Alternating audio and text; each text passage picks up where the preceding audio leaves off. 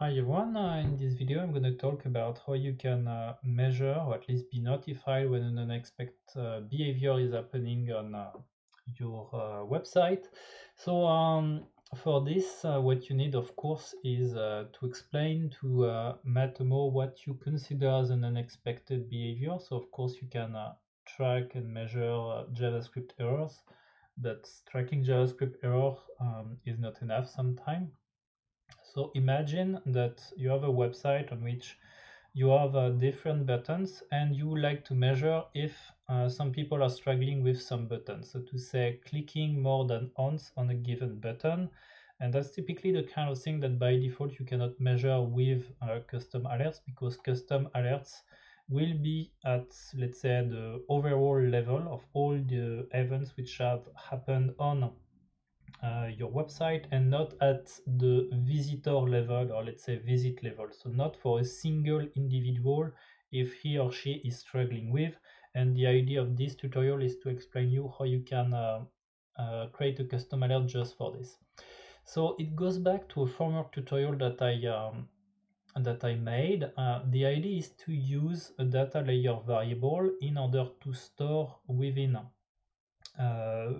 uh, uh, within the browser of uh, the user the fact that uh, he or she perform this given interaction. So what is gonna happen over here is that we have a button and on this given button what I did is that I added as you can see a mtm push click button so the idea is if this person is clicking on this given button it's gonna store within the data layer uh, the value button so to say uh, the browser will know that this given person clicked on the button. It's not gonna send anything to Matomo yet, it's just gonna hold within the data layer that this person click on this given button. And if this person click a second time on this button, imagine that he or she is struggling with this given button, then I'm gonna fire um, a tag in order to say that this person struggled with this uh, given button. So in order to make this given um, tutorial happen, what I did is that I did an on-click mtm push click button. So for this, I need to create a data layer variable within my tag manager where the uh, name will be click. And uh, I just added here um, uh, an ID within my button, so this part is not uh, compulsory.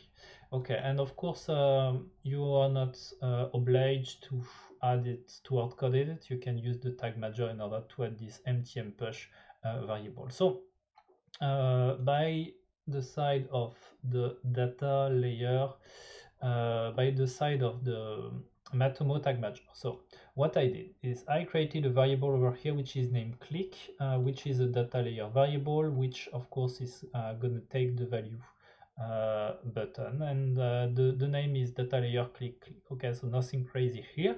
Then in addition to that, what do I have is I have a trigger. The trigger is the following one. So it's uh, the trigger is going to react if someone click on a button which has an ID which equal my test and which has as well uh, data layer variable uh, which equal to, to button. So here I have all I want.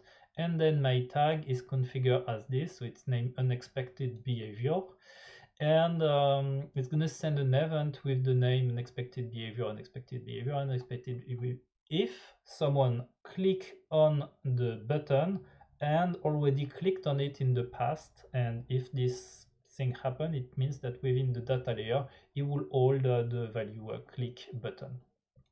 So uh, let's let's go for it.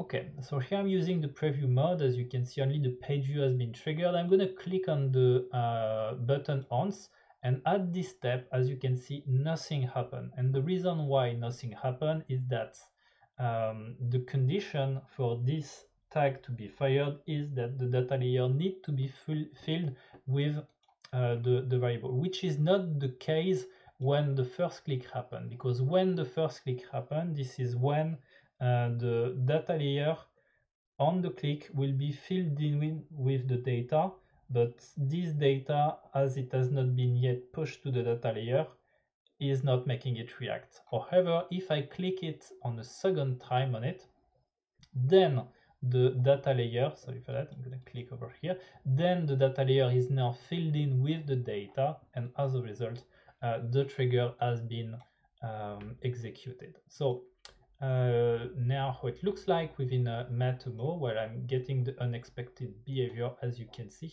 and now I can easily create my custom alert based on this one so this given event as you can imagine is gonna hardly ever be pushed or at least when it's pushed it's clearly the definition of an alert because this should really happen very uh, few times. So it's gonna happen just in really specific condition and here I should have uh, changed this out and it's uh, when it's greater than one because if one person at least trigger it probably means that the issue is still there. And that's everything that I wanted to show you uh, for today. Hope you enjoyed this video